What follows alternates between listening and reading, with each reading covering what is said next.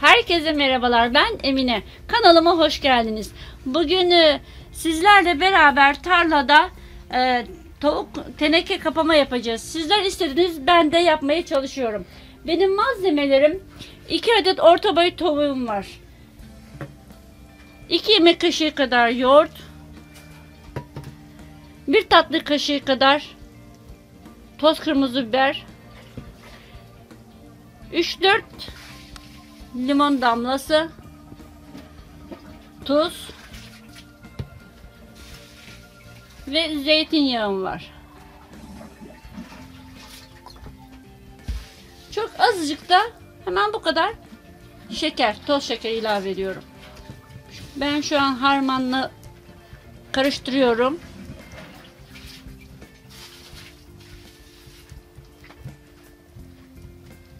Evet. Ben bu hazırlamış olduğum karışımımı tavukların her tarafına yedireceğim.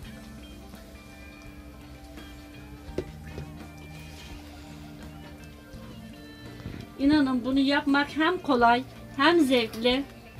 Yemesi de bir o kadar lezzetli.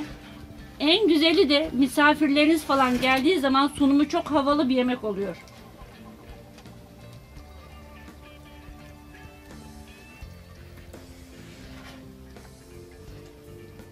İçine de biraz sürüyorum bu harçtan.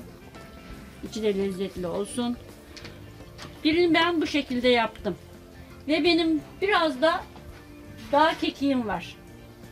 Birinde ben kekikli yapıyorum.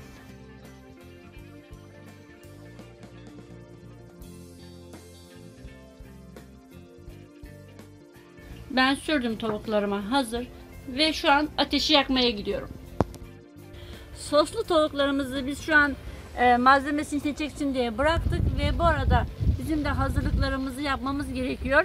Bir tavuk için bir teneke. Bu tenekeler benim 18 litrelik teneke, büyük teneke. Ve birer tane de böyle bir tavuk rotturmak için kazığımız var, çubuğumuz var ve alta değmemesi için de böyle bir taşa ihtiyacımız var. E, bu taş niye yapıyoruz dersek bu taş ateşte kızdığı için içten de tavuğu daha güzel pişirdiği için biz böyle bir taşı tercih ediyoruz. Şimdi ateşimizin başına geçelim. Evet şu an ateşimizi ben tutuşturuyorum. Bu zamanla yanacak. Köz haline gelince posta posta yine sizlerle çekimi ben paylaşacağım. Evet bir miktar yakmış olduğumuz ateşimiz şu an geçti. Kor haline geldi. Ve şu an e, ateşimize taşlarımızı koyup tavuklarımızı oturtup tenekemizi kapatacağız. Fakat şu an bu işlemi ben eşimden yardım alarak yapıyorum.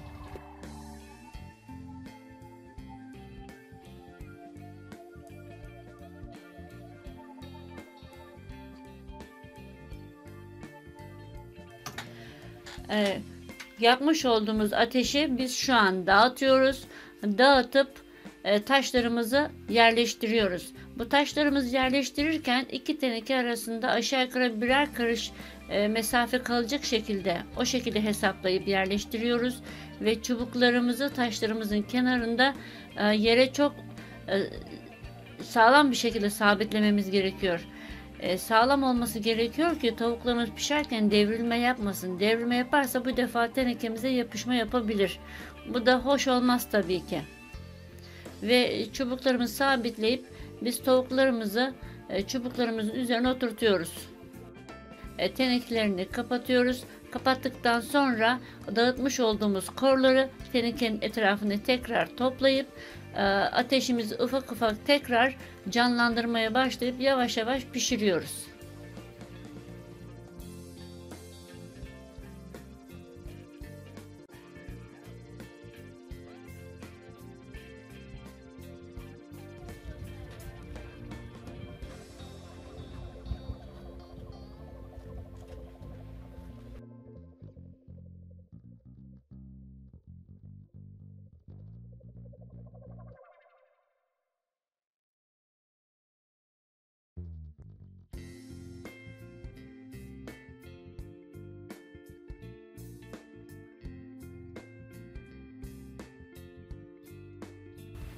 Evet 35 dakikanın sonunda şu an tenekelerimizi açıyoruz.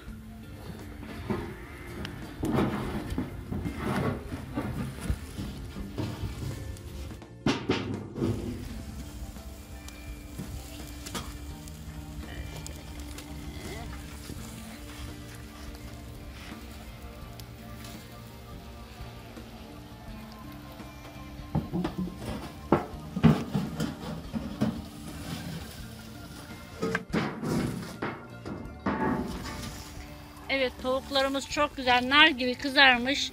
Şu an bir 2-3 dakika kadar da şu taşın üzerinde kendine gelmesini bekliyoruz.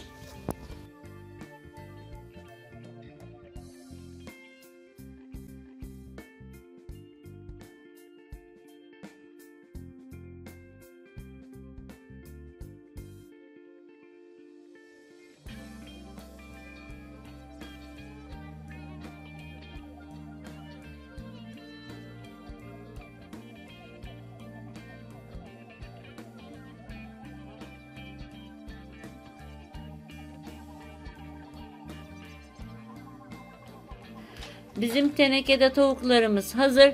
Yapanların ellerine sağlık, yiyenlere afiyet olsun. Kanalıma abone olur ve yorumlarınızı benimle paylaşırsanız memnun olurum.